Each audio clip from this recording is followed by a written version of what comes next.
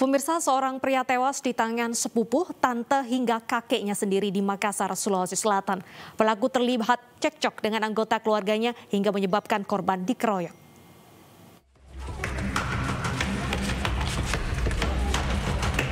Tim gabungan dari Resmo Polda Sulawesi Selatan, Jatan Ras Polrestabes Makassar, dan Opsnal Polsek Makassar langsung membekuk empat orang pelaku pembunuhan. Keempat pelaku merupakan keluarga korban, yakni sepupu, tante, dan kakeknya. Selain membekuk pelaku, polisi juga menyita barang bukti berupa parang dan tombak yang telah disembunyikan dan dibuang di sebuah kanal usai mereka beraksi.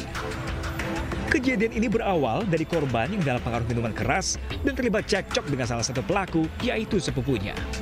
Korban sempat mendatangi rumah pelaku dan kemudian terlibat cekcok dengan anggota keluarga lainnya. Saat bertengkar dengan tantenya, kakek korban langsung menusuk korban dengan tombak dan memukulnya dengan balok kayu. Dari hasil penyelidikan diketahui jika jauh hari sebelum kejadian tersebut korban dengan pelaku memang kerap terlibat cekcok meskipun memiliki hubungan keluarga erat.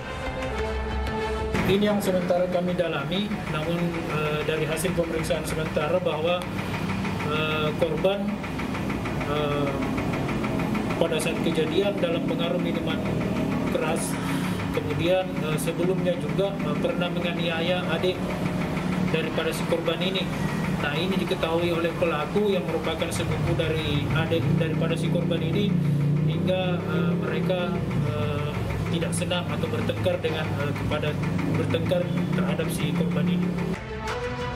Akibat perbuatannya, keempat tersangka terancam pasal berlapis dengan ancaman pidana penjara 20 tahun.